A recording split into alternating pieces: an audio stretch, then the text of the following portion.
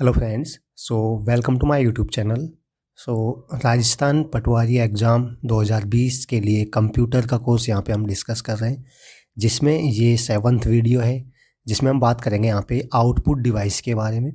इससे पहले वाली वीडियो में भी हमने आउटपुट डिवाइस के बारे में डिस्कस किया था, जिसमें हम आगे कुछ डिस्कस कर पाए थे आगे बाकी जो रिमेनिंग है उनको आज हम इस वीडियो में यहाँ पे डिस्कस करेंगे। तो ये आउटपुट डिवाइसेज वाले पार्ट का ही सेकंड पार्ट है जिसमें हम आउटपुट डिवाइस को यहाँ पे कंप्लीट डिस्कस करेंगे। जो भी रिमेनिंग थी उनको यहाँ पर हम डिस्कस करेंगे। पिछले वाले वीडियो में हमने मॉनिटर और प्रिंटर के बारे में डिस्कस किया था। सो so, ये क्लास नोट्स मैं आपको अपने टेलीग्राम चैनल पे प्रोवाइड कर दूँगा। आपको वीडियो के नीचे डिस्क्रिप्शन बॉक्स में लिंक मिल जाएगी टेलीग्राम चैनल की, उसको ज्वाइन कर लीजिए। वीडियो अपलोड होने के बाद ये सारे नोट्स मैं वहाँ पे पीडीएफ फॉर्म में टेलीग्राम चैनल पे अपलोड कर देता हूँ। वहाँ से इनको आप प्राप्त कर सकते हैं डाउनलोड कर सकते हैं, ठीक है? सो वीडियो स्टार्ट करने से पहले मैं बताना चाहूँगा कि यहाँ पर हम राजस्थान पटवारी के लिए कोर्स डिस्कस कर रहे हैं कंप्यूटर का कोर्स हम कंप्लीट यहाँ पे डिस्कस करेंगे।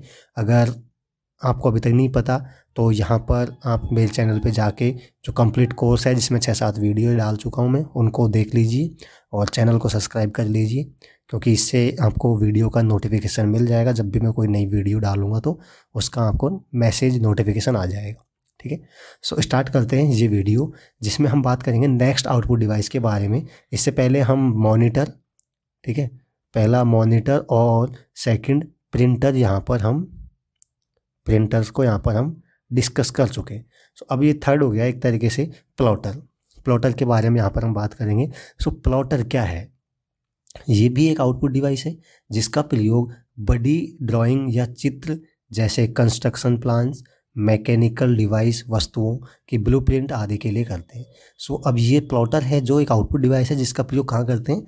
ड्राइंग बनाने में या चित्र बनाने में, जैसे कि कंस्ट्रक्शन प्लान। मतलब कोई बिल्डिंग बनानी है, आपको बहुत बड़ी बिल्डिंग बनानी है तो उसका जो कंस्ट्रक्शन होगा, बिल्डिंग्स होगा, उनका मैप बनाना है, वो डिज़ाइन करना है तो वो प्लॉटर की सहायता से हम कर सकते हैं। या फिर कोई भी मैकेनिकल, कोई भी वस्तु है ठीक है? उसका ब्लू प्रिंट बनाना है आपको। तो ये सारी बनाने के लिए हम प्लॉटर का यूज़ करते हैं। सो so, प्लॉटर में क्या होता है? इसमें ड्राइंग बनाने के लिए आपको पेन पेंसिल मार्कर टूल ये सारे गिवन होते हैं उसमें जिनका यूज़ करके हम जो भी ड्राइंग्स वगैरह हैं या कोई भी डायग्राम है वो बना सकते हैं। सो so, आपको इतना ध्यान रखना है बेसिकली प्लॉटर एक आउटपुट डिवाइसेज है और इसका यूज़ कहाँ पे होता है? कंस्ट्रक्शन प्लान्स वगैरह है या किसी मैकेनिकल वस्तु है उनका ब्लू प्रिंट बनाने में इसका।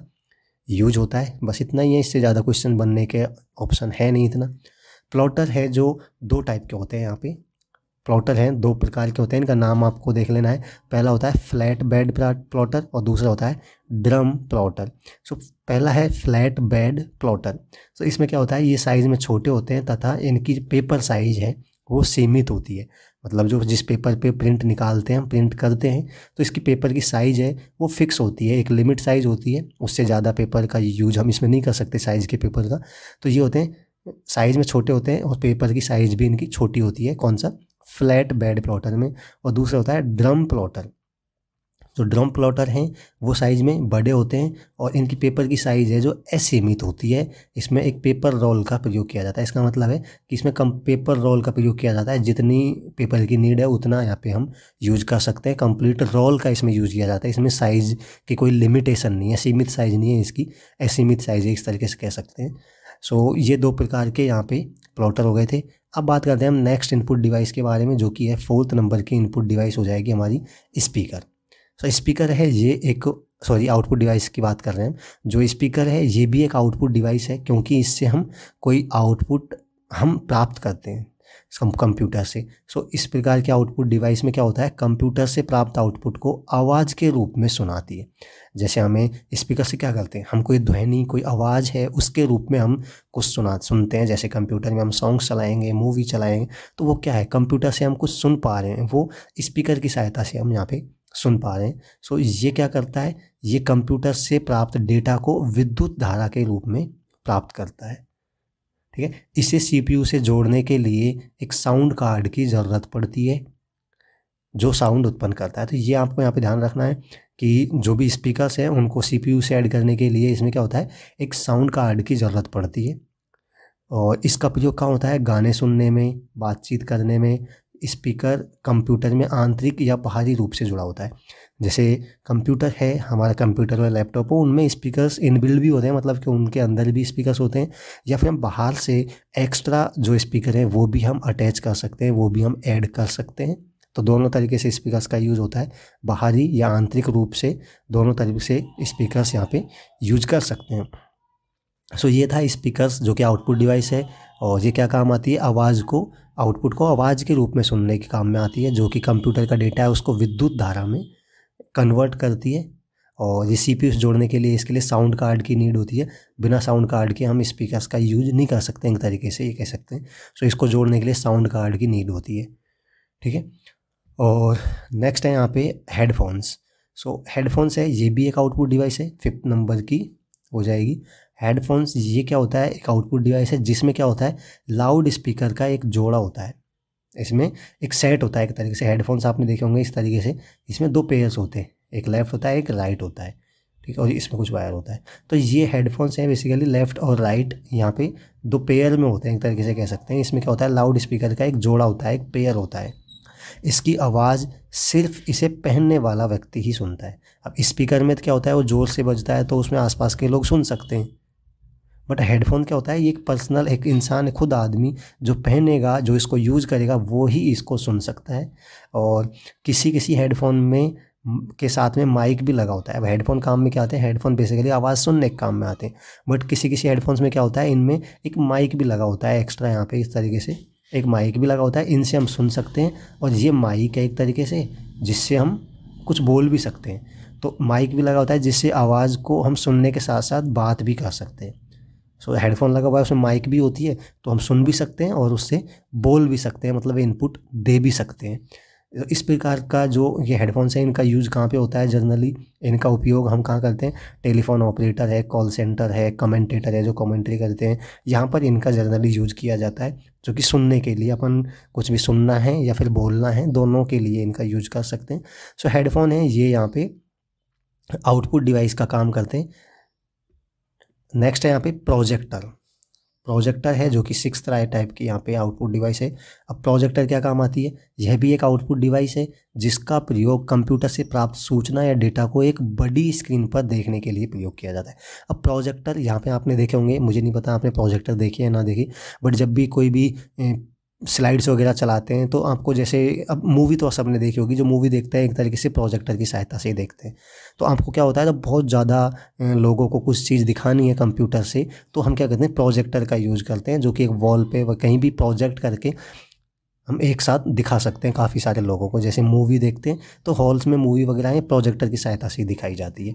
सो प्रोजेक्टर क्या करता है कंप्यूटर से प्राप्त डेटा या सूचना को एक स्क्रीन पर देखने के लिए काम में आता है। जैसे वॉल पे या स्क्रीन पे, बड़ी स्क्रीन पे दिखाने के लिए काम में आता है।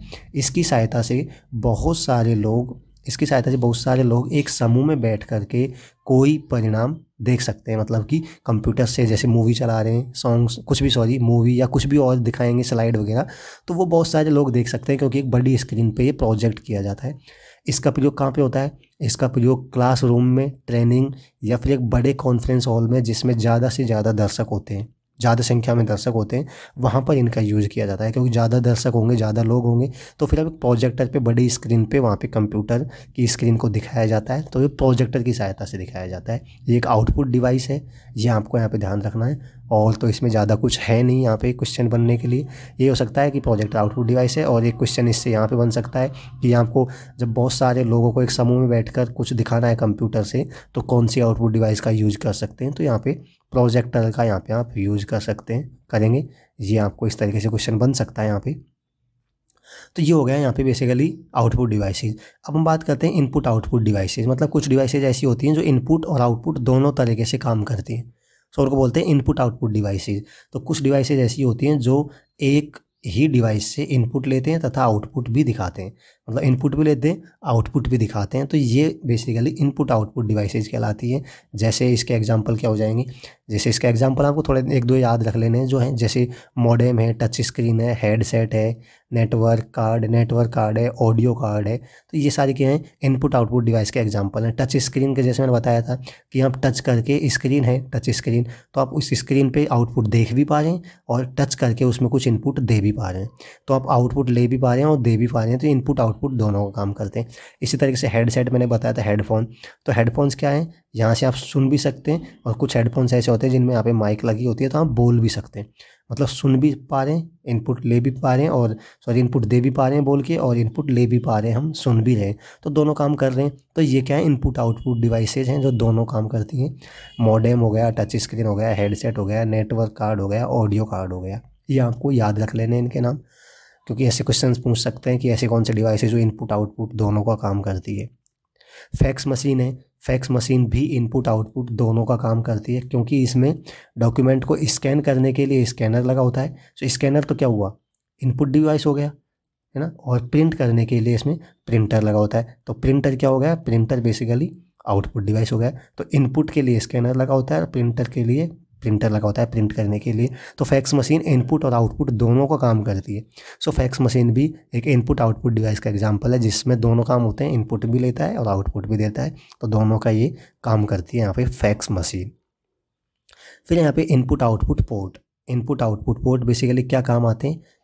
जब भी यहाँ पे कंप्यूटर से जब भी एक्स्ट्रा कोई भी बाहर से, आप जैसे इस हेडफोन्स हैं, स्पीकर है या फिर माउस, कीबोर्ड वगैरह, जो बाहर की डिवाइसेज हैं कंप्यूटर से बाहरी रूप से जोड़ने के लिए जो इनपुट आउटपुट डिवाइसेज हैं, उनको जोड़ते हैं तो किसी डिवाइस की ज़रूरत होती है मतलब किसी एक माध्यम की ज़रूरत होती है, उनकी सहायता से हम उनको जोड़ सकते हैं। जैसे हमें माउस कनेक्ट करना है कीबोर्ड कनेक्ट करना है तो कैसे कनेक्ट करेंगे? इसके कोई एक मीडियम होता है जो पोर्ट होते हैं, उनको बोलते हैं पोर्ट तो उन पोर्ट की सहायता से वहाँ पे उनको ऐड करते हैं, इनपुट उन्हें बोलते हैं इनपुट आउटपुट पोर्ट सो जो ये डिवाइसेज होते हैं, जिनको एक्स्ट्रा बाहरी रूप से जोड़ते हैं इनपुट आउटपुट डिवाइसेज जिनको एक्स्ट्रा बाहरी रूप से जोड़ते हैं इनको क्या बोलते हैं? पहली फेरल पहली फेरल डिवाइस बोलते हैं इनको। पहली फेरल डिवाइसेज बोलते हैं। ऐसे डिवाइसेज जो इन ऐसी इनपुट आउटपुट डिवाइसेज जो बाहर से हम उनको ऐड करते हैं कंप्यूटर में जोड़ते हैं तो इनको बोलते हैं पहली फेरल डिवाइसेज तो इन डिवाइसेज को कंप्यूटर से जोड़ने के लिए एक मीडियम की आवश्यकता होती है जिन्हें हम कहते हैं इनपुट आउटपुट पोर्ट उस पोर्ट की सहायता से हम इनको जोड़ सकते हैं उसमें कनेक्ट कर सकते हैं। सो so, कंप्यूटर को चलाने के लिए कुछ आवश्यक युक्तियों को स्टैंडर्ड युक्तियाँ कहा जाता है, जैसे keyboard floppy drive hard disk तो कुछ ऐसे डिवाइसेज होते हैं जो कंप्यूटर को चलाने के लिए आवश्यक हैं, ज़रूरी हैं। तो उनको क्या बोलते हैं? स्टैंडर्ड युक्तियाँ। मतलब उनको स्टैंडर्ड युक्तियाँ बोलती हैं मतलब वो कंप्यूटर को चलाने के लिए ज़रूरी है। एक तरीके से माउस हुआ कीबोर्ड हुआ कीबोर्ड फ्लॉपी ड्राइव हुआ और हार्ड डिस्क हुआ। तो ये ऐसी डिवाइसें हैं जो कंप्यूटर को चलाने के लिए काम में आती हैं जनरली सो इनको बोलते हैं स्टैंडर्ड युक्तियाँ। ठीक है? सो हमने यहाँ पे इनपुट आउटपुट डिवाइसेस को अब कंप्लीट डिस्कस कर लिया है। इनपुट आउटपुट डिवाइसेस को पहले हमने इनपुट डिवाइस डिस्कस किया था, ये आउटपुट डिवाइस की यहाँ पे सेकंड वीडियो थी, जिसमें हमने कंप्लीट यहाँ पे अब इनपुट और आउटपुट डिवाइसेज को डिस्कस कर लिया है। अब इससे रिलेटेड जो भी क्वेश्चंस होंगे, वो हम बाद में डिस्कस करेंगे। मैं बोल रहा हूँ, अभी हम कोर्स एक बार डिस्कस कर लेते हैं, फिर हम बाद में क्या करेंगे? सिलेबस कंप्लीट होने के बाद में हम जो भी एम हैं मल्टीपल चॉइस क्वेश्चन हैं मल्टीपल चॉइस क्वेश्चंस हैं, इनको हम यहाँ पर डिस्कस करेंगे। खूब बहुत सारे मल्टीपल चॉइस क्वेश्चंस मैं आपको यहाँ पर डिस्कस करवाऊँगा। दूसरा क्लास नोट्स मैं आपको प्रोवाइड कर ही रहा हूँ सारे। जो भी क्लास नोट्स हैं, आपको टेलीग्राम चैनल पे मिल जाएँगे। टेलीग्राम चैनल को ज्वाइन कर लीजिए, उसकी लिंक आपको वीडियो के नीचे डिस्क्रिप्शन बॉक्स में मिल जाएगी। और बस, अगर वीडियो अच्छी लगे तो इसको लाइक कर दिया करो यार। लाइक करोगे तो आपको पता चलेगा, मुझे पता चलेगा कि वीडियो आपको अच्छी लग रही है। कोई आपके मन में कोई भी क्वेश्चन हो जिसका आंसर आपको नहीं पता हो, कुछ पूछना हो, कहीं कोई प्रॉब्लम हो तो वो भी आप कमेंट करके बता सकते हैं, पूछ सकते हैं। मैं सारे कमेंट को पढ़ता हूँ और सबका रिप्लाई मैं यहाँ पे करता हूँ, ठीक है? सो, बस आज की वीडियो में इतने डिस्कस करेंगे। मैं आशा करता हूँ कि ये वीडियो आपको अच्छी लगी होगी। सो, मिलते हैं नेक्स्ट वीडियो में, तब तक के लिए बाय एंड टेक केयर